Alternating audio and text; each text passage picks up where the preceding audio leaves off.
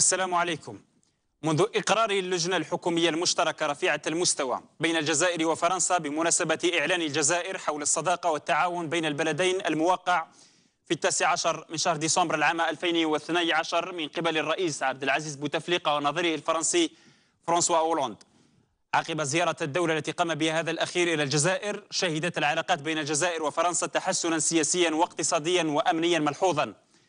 هذا الانتعاش في العلاقات بين البلدين أنتج اللجنة الاقتصادية المختلطة بين الجزائر وفرنسا شهر ماي العام 2013 وعلى إثرها تم التوقيع في الرابع من شهر ديسمبر 2014 على 20 اتفاقية تلاها التوقيع على تسع اتفاقيات اقتصادية في السادس والعشرين من شهر من شهر أكتوبر العام 2015 ثم التوقيع اليوم على 26 اتفاقية بين اقتصادية بين الجزائر وباريس في إطار الزيارة التي تقود الوزير الأول الفرنسي مانويل فالس إلى الجزائر والتي حضرتها 60 مؤسسة فرنسية.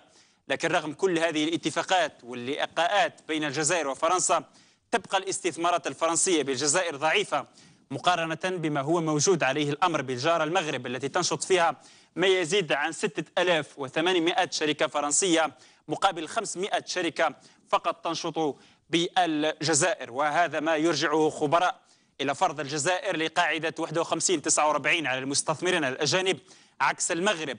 وبالرغم من تراجع حجم الاستثمارات الفرنسية بالجزائر منذ العام 2012 خاصة بعد إقرار الجزائر لقانون الاستثمار 2014 واعتبار فرنسا الجزائر سوقا فرنسية لمنتجاتها. إلا أن باريس لا تزال تحظى بحصة الأسد من المشاريع الاستثمارية في الجزائر ب 121 مشروعا من ضمن 272 مشروعا لدول الاتحاد الأوروبي أي ما يعادل أكثر من 44 في المئة من حجم استثمارات دول الاتحاد الأوروبي في الجزائر مجتمعة.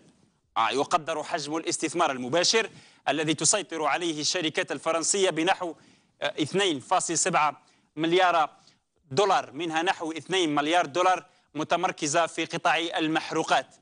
يقول متابعون هنا إن فرنسا تغتنم المرحلة الحرجة التي تمر بها الجزائر إثر الأزمة المالية الناجمة عن تهاوي سعر البترول لمواصلة تمددها على مفاصل الاقتصاد الوطني من خلال التوغل داخل مختلف القطاعات الحيوية للاقتصاد الوطني وبسط هيمنتها على رئة الجزائريين. يقول رأي مخالف إن الجزائر وضعت نفسها في كماشة فرنسا وألقت بيديها في أحضان باريس عندما تأكلت البحبوحة المالية وجدت نفسها مجبرة على تسليم مفاتيح اقتصادها للشركات الفرنسية.